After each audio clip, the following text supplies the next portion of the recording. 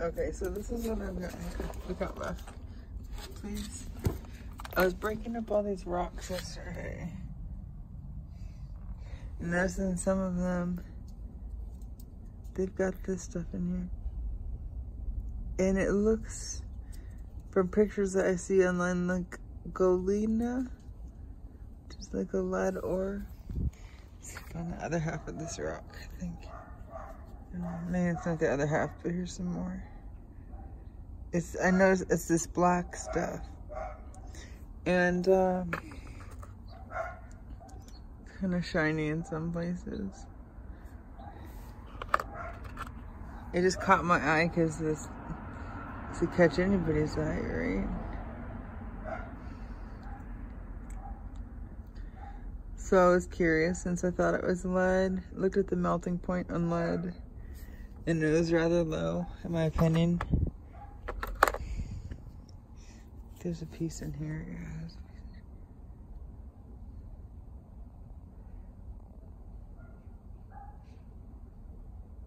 so there's another little piece. It's just so dense. It felt so heavy and like um not like a rock. It feels like metal. But it's not rusted. It's not iron. So I took this torch and I put some of it in this rock and I melted it. And this is what I got.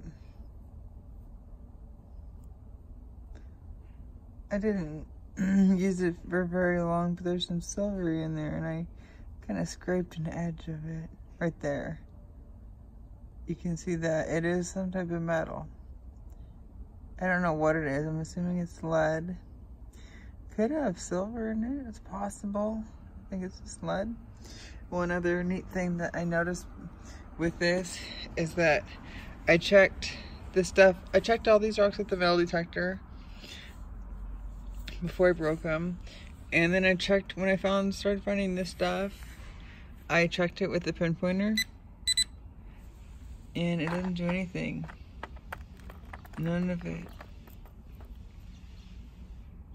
Right?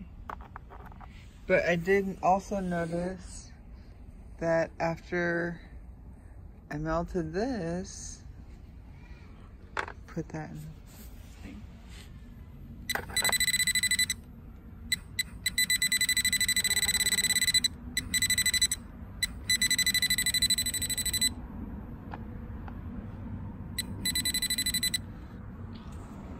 So I'm not sure exactly what's going on here. what made me curious to try this was seeing a couple videos on YouTube about roasting. And know, I was curious what happened. So I might show a video of myself uh, melting some more of this stuff if I can find it in bigger quantities. But other than that, I'm just gonna kind of save this stuff until Val comes so that she can play with it as well. It's is so weird. So, yeah. Thanks for letting me share that with you. I'm going to try to do some more today.